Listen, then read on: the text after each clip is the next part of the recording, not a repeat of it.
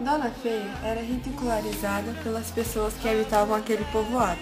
Ninguém a conhecia de verdade, mas por causa de sua aparência, atribuíam a ela as piores características, bruxa, má, macumbeira, etc. O viajor comprou suas bonecas em troca de aviamentos. Foi um sucesso a procura pelas lindas bonecas feitas por Dona Feia. O vilarejo foi assolado por uma seca destruidora, Todos atribuíram essa catástrofe a uma praga que teria sido rogada por Dona Feia, por ter sido motivo de chacota durante uma apresentação de um grupo de cantores itinerantes vindos de todos os lugares.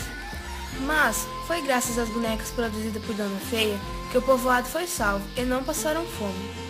Aí então, realmente conheceram e viram que por trás de tanta feiura havia uma pessoa humilde, bondosa e inteligente. Foi assim que Dona Feia passou a se chamar Dona Fia, a maior fiandeira do sertão.